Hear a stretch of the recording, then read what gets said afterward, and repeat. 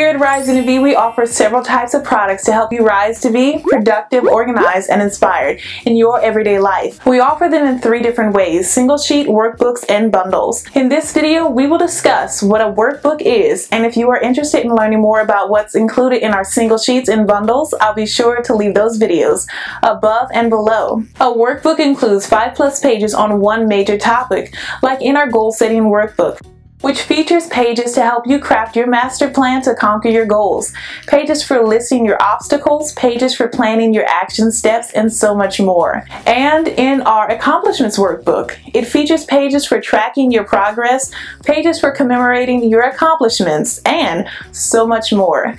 And guess what? There are even more amazing workbooks coming to Rising and Be, so stay tuned.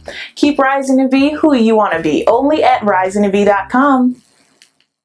Follow me on Instagram at Rising to Be for motivational content.